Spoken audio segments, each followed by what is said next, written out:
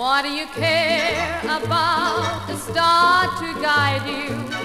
All that matters is the one beside you.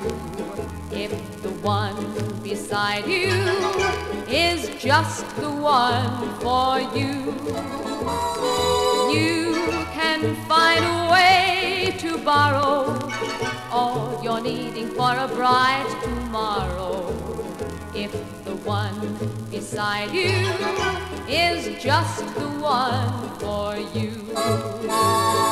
All your daydreams wake up in the pattern of the scheme.